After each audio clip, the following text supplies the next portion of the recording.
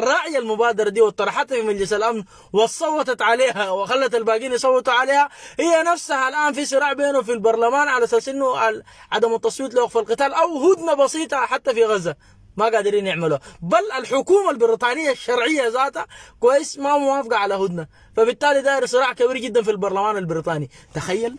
هسه دي ما حقار عليك الله. عليك دينك النازل ما حقارين. جماعة ده استهتار عجيب خلاص يا أخي.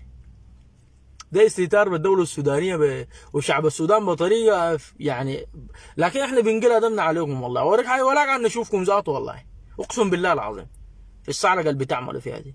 يعني دي ده بس بيثبت لك إنه المجتمع الدولي ده عبارة عن كذبة. ليس إلا يعني.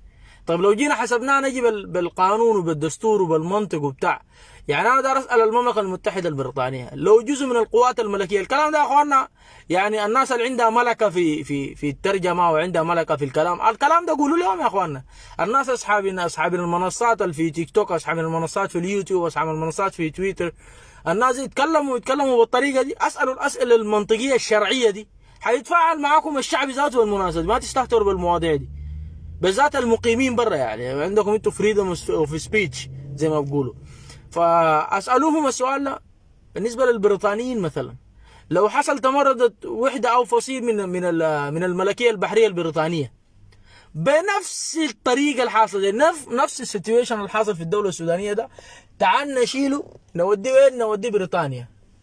بمسمى بسيط مثلا واحدة من فصائل من من من الفصائل بتاعت الجيش البريطاني أو وحدة من الوحدات تمردت على منو؟ تمردت على القوات الملكية البريطانية وين؟ في لندن أو في أي حتة في برمنغهام في مانشستر في وريفر الدولة حتكون فاهمة شنو في الموضوع ده؟ ما تمرد ساي. لا كمان لو تمرد ساي أنا أعلن تماما البريطانيين حيتعاملوا مع مع الموضوع ده. كيف؟ حيتعاملوا معه بالقوة الغاشمة لحد ما يسيطروا يفرضوا هيبة الدولة. فما بالك لما يجوا الفصيل من الفصيل من البريطانيين اللي تمرد من الجيش من سلاح سلاح الجو أو سلاح البحرية الملكية اتمرد واستعان مثلا بفرنسيين للفرنسيين صوتوا هناك.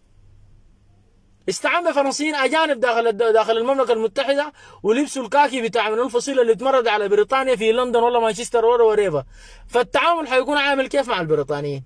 ما حيكون دشمان حيكون في ركب ما بعده ركب. وين في الشوارع بتاعت لندن هيكون المعركة بتكون شرسة جدا وحتكون سريعة جدا لفرض لفرض هيبه الدولة. ليه؟ عشان هم بريطانيين. تعال نشيل الكلام ده نوديه في أمريكا. نفس الكلام ده حيحصل في في أمريكا. تعال نشيل الكلام ده نوديه مثلا لكندا. نفس الكلام ده حيحصل تعال نشيل الكلام ده نوديه لفرنسا. نفس الموضوع ده أي دولة تمسكها سواء إقليمية ولا ولا إنجليزية ولا وريفه في العالم العالم المعفن اللي إحنا قاعدين فيه ده هيكون ده التعامل بتاع الدولة بتاعته.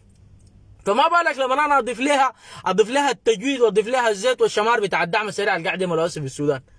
فبطبيعة الحال وما حتخلي دولة تتدخل في شؤونها بل بالعكس حتكون رادعه جدا حتى في الرد على الدول اللي قاعد تتكلم الكلام ده. هدنه على أي أساس أنت بتساويني مع منو يعني؟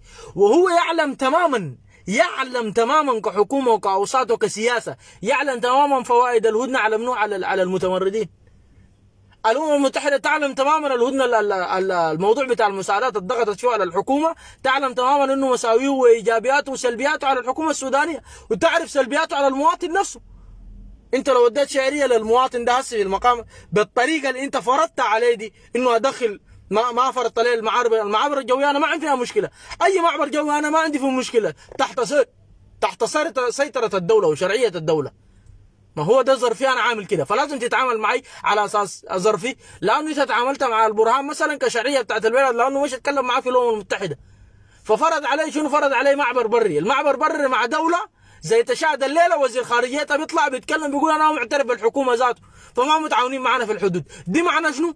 هسه الأمم المتحدة أنا بطالب الأمم المتحدة. ترد على الكلام ده؟ يا ال bloggers الناس المثقفين الناس اللي ما بيتكلموا كلام بتاع شوارع زينا الناس الفاهمة. يا اخوان الحياة دي ما تمشوها.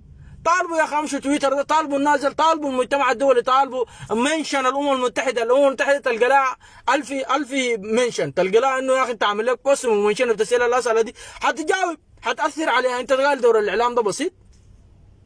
لما أنت خاطئ مثلا تقول لي أنت فرضت علي إنه أنا أدخل بمعابر معبر مع دولة أنا عدو, عدو بالنسبة لي الآن. زي تشاد بدل ما انت تقول لنا المعابر عندك المطارات عندك مطار الفاشر زي ما انت قلت. ما, ما كفى مطار الفاشر والسعه بتاعته ما ما انك تعمل مخازن بتاعت بتاعت إغاثة ولا تعمل منه مركز بتاع توزيع. عندك مطار كردفان. اللي بينقصك شنو؟ مشيت عملت معبر بري. المعبر البري مش كنت مع الجارة تشاد. الجارة تشاد عندنا مشكلة معاه ما عندنا مشكلة مع الشعب. عندنا مشكلة مع الحكومة حرفيا يعني. الدليل شنو؟ الدليل الليلة دي الليلة دي الليلة دي. كلامي وكلامك ده تصريح من وزير الخارجية ذاته بتاع الدولة دي. كان قال لك شنو؟ قال لك يا أخي أنا والله أنا ما معترف بحكومتكم دي ذاتها. ولا حي ولا يعني ولا في تعاون أصلا بيننا وبين الحدود. دي, دي معناه شنو؟ دي معناه إنه الحاجة الجاية الحاجة الجاية من تشاد عبر المعبر دي ما حيكون عليها control. الدليل شنو على الكلام ده؟ الدليل وزير الخارجية بتاع تشاد. بمعنى شنو؟ بمعنى إنه الأمور طيبة بتاعت الدعم السريع يتشون ولا رقيب ولا حسيب. even even إنه حاجة الحاجة الجيش والقوات المسلحة والحركات المسلحة حتى لو مسيطره على معبر على معبر الطينة. ده الكلام ده خطير يا جماعة. الكلام ده أنت دورك عزيزي المستمع تعمل شنو؟ بكل أدب وباحترام. تمشي التويتر بتاعك تمشي المنصات اللي أنت قاعد تقعد فيها. منشن النازل منشن الأمم المتحدة. تساءل في الأسئلة المشروعة دي. اضغطوا يا أخواننا. اضغطوا يا شباب خلوا الحفلات الله يرضى عليكم يا. أضغط يا أخي السودان كله قاعد يحتفل يا شباب. في شنو يا أخواننا؟ قاعد حفلاتكم ودنيتكم وبتاع. اجلها شوية يا أخي. يا أخي ما تاجلها يا أخي احتفل بس في صمت يا أخي. لكن أعمل دورك ده. أنت قايل مثلا القعدة برا ده حتدوم لك. والله ما بتدوم لك. عدم الحاجة اللي بتتشاف ده أنا ما أقدر أعمل لك فيها مصلحة. أنا ذاتي أنا ممكن أعيش حياتي لكن قاعد أعيشها بصمت. الحاجة اللي أنت ح... الحاجة اللي أنت عايشها دي ما في النهاية أنت حتزيد امد ما حتنتهي يا man القروش اللي بتدفعها في الحفلة ولا بتاع والله حتنتهي. ها حتجيب من وين تاني؟ الفي سنامك بينتهي يا زول. أنت ماشي في وضع ده وضعنا عامل كده. في حاجات ما تفوتوها يا أخي. المثقفين الفنانين الإعلاميين الناس السايل اللي عندهم منصات. أي فهم اضغطوا في الحاجات دي؟ هل تعلم أصل الكلام الحاصل ده خطير جدا؟ إنه يا أخي حكومة تشاد طلعت بوزير خارجيتها بتصرح زي ده والأمم المتحدة تفرض علي إنه أنا ادخل مساعدات بمعبر بمعبر الطينه الكلام ده مصيبة. تاني حتدخل الموضوع شنو؟ حتدخلنا فيه تاني دخلوا أسلحة دخلوا ما عارف شنو بتاع. يلا أنت دورك الكلام ده أنت بتضغط فيه بتجيف. وزارة الخارجية مفترض بكرة ترد على الكلام الفارغ ده. طوالي تنسف طوالي تنط من الاتفاقية.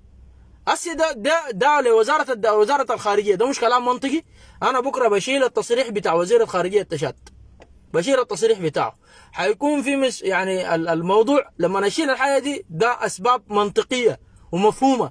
إنه أنا هحاول أعدل بقدر الإمكان أخلي ال ال ال الاتفاقية بتاعت المعابر والحاجات دي تكون منطقية وبتكون في صالح الدولة السودانية وبمراجعة الدولة السودانية.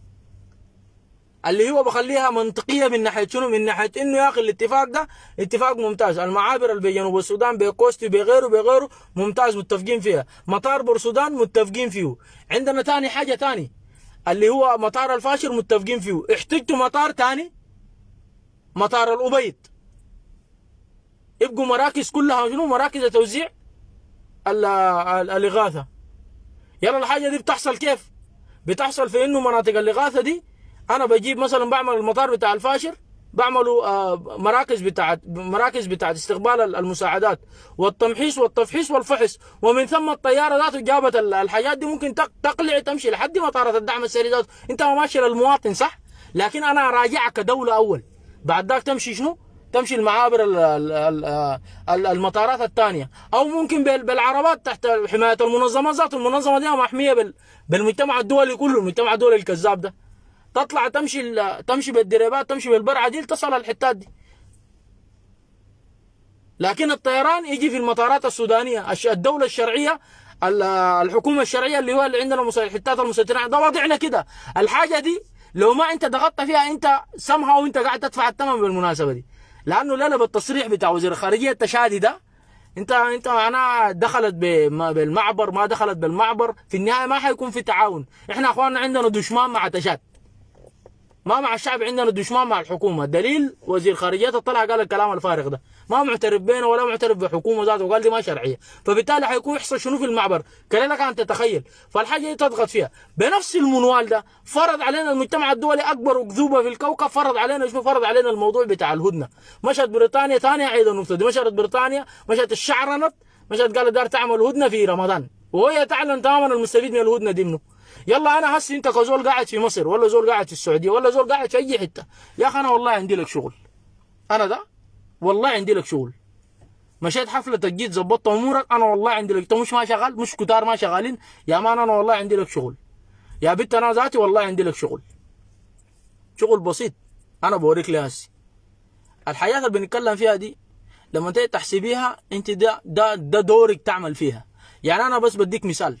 هم يعلموا إنه الهدنة دي بيستفيد منها الدعم السريع. بس ما لاقي ضغط جماهيري الناس ما فاضية من الحفلات. والله معلش يعني. الناس ما فاضية من الطرب والحفلات والشبشبة وال... والأمور. في حاجة الحاجة دي لو ما ضغطتها أنت ما في زول بيركز معاك فيها. أضغط ده part منك. في عندك مقاتلين ناس بتفديك بدمها هسه في الميدان. يا أخي أنت اعمل ولو part بسيط يا أخي. ال part ده ما ما بكلفك أي حاجة. أربط لك الموضوع ده مع